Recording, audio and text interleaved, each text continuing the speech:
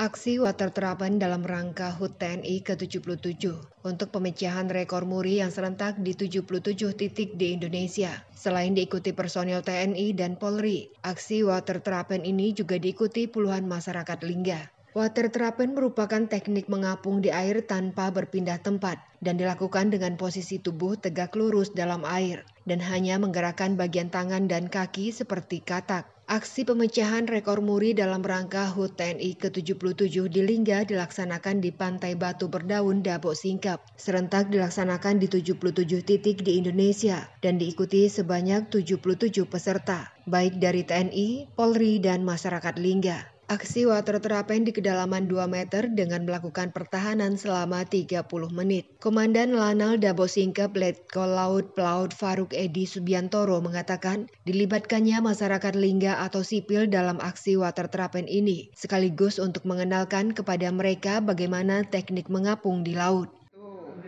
Dinamakan water terapen. Itu salah satu metode untuk bertahan di laut.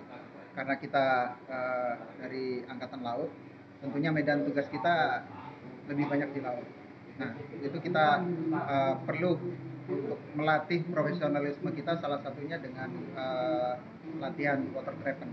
Karena kenapa melibatkan warga sipil dan? Ya, uh, karena kita ini angkatan laut, ya, domain kita di laut. Nah, otomatis kita juga harus uh, bisa memberikan sosialisasi ataupun mungkin pengetahuan kepada masyarakat, terutama masyarakat-masyarakat di sekitar pesisir. Mengenal water terapen atau teknik mengapung di laut untuk masyarakat Lingga ini sangat penting, mengingat Lingga merupakan daerah kepulauan yang mayoritas warganya adalah nelayan, dan transportasi laut jadi andalan warga untuk bepergian. Hal inilah yang membuat Lanal Dabo Singkep melibatkan masyarakat Lingga. Selain pemecahan rekor muri, sekaligus mengajarkan mereka teknik water terapen yang benar. Alifatoni melaporkan dari Lingga.